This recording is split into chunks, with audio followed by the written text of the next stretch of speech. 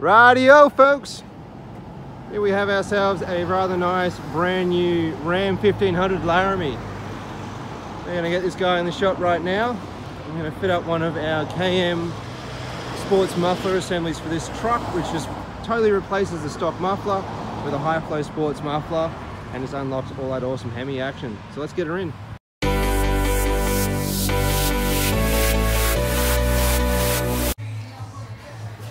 So, if you have a Laramie, this is the same exhaust everyone kind of gets.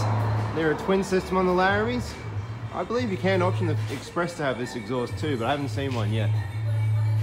They're a twin two and a quarter inch tailpipe. They do have a resonator in them on each side, which is great with our setup. It maintains a great note out of the truck, but sort of cuts out those drone issues.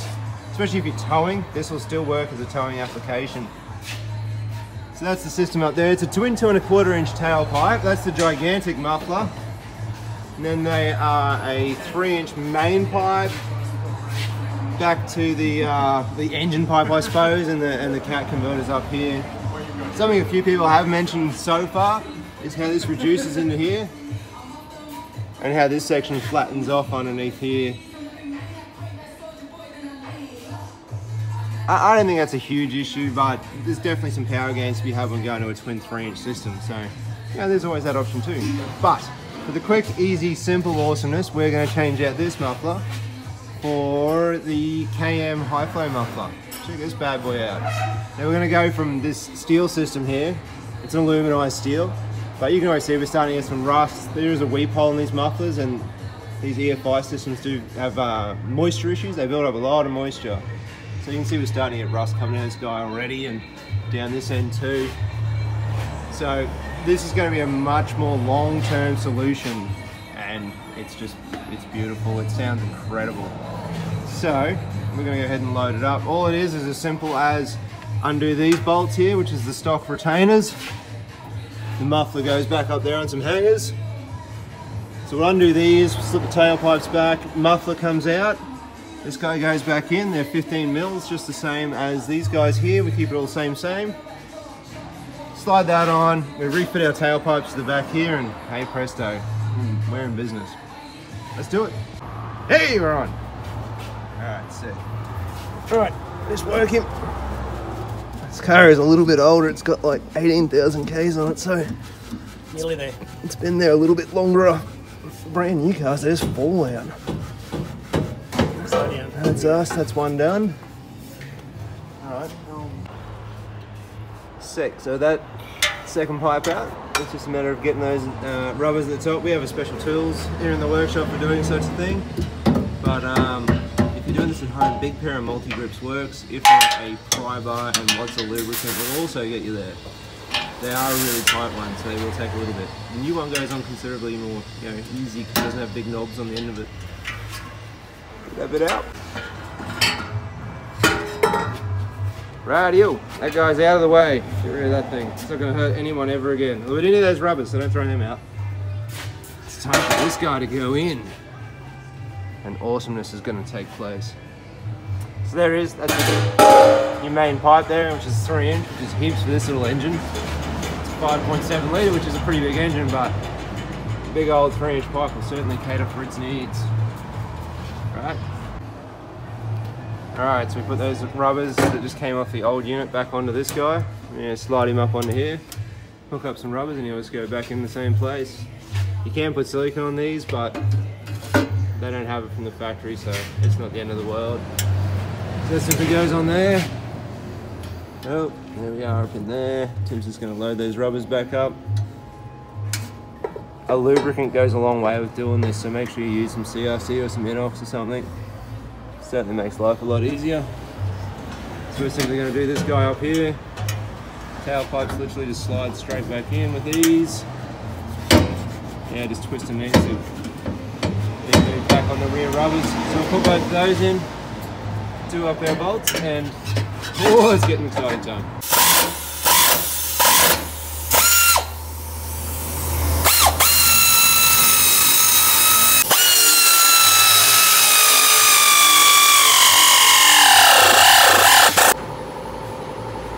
That's us, finished product guys. It all sits up in there nicely. Our beautiful big KM logo is showing itself off. Tailpipes are back in. There's little locators in tailpipes. It just goes into these little guys' touch. We'll leave this little bit here exposed because there's normally a notch in the other piece. But don't worry, this is, this is bedded all the way into here. It's nice, nice seal. You're not going to have any issues. Replicating the same clamps the stock system has, so it's all really super neat. So yes, I'm super excited, man. Gonna bring this thing down and start it up.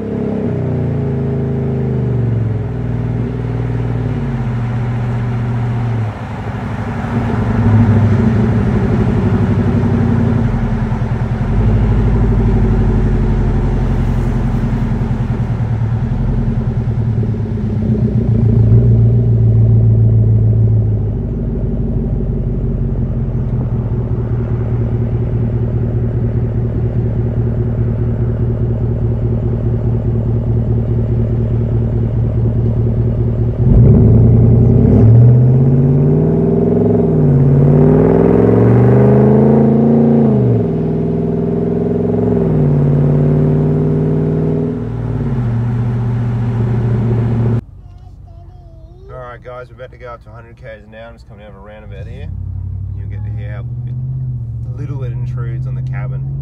Sorry about the angle of the camera here. I haven't got my camera holder with me at the moment, so here we go. Going up to 100 now. 80. And there's 100 k's hour.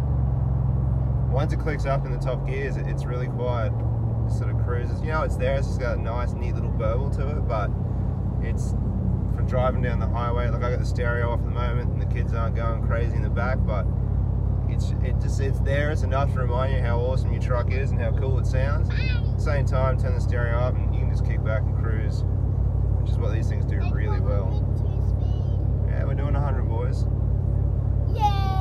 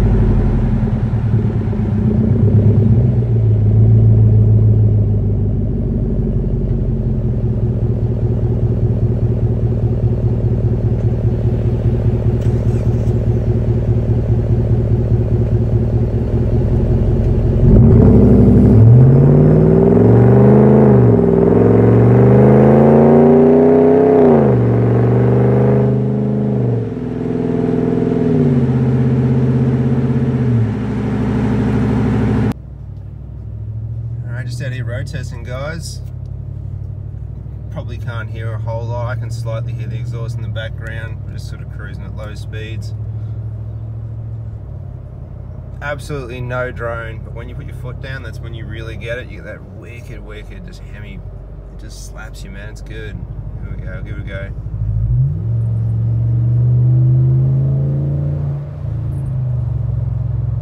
So that's about it. It's about as loud as it gets inside the car. It's considerably louder than that outside the car. And, um, and this thing's got such a fantastic gearbox and so much good body deadening as well. When you get out on the highway, barely even know it's got an exhaust on it. Really is. It doesn't change the, like, it's such a nice truck to drive. It doesn't really change any of that. It, it maintains it. So that's us.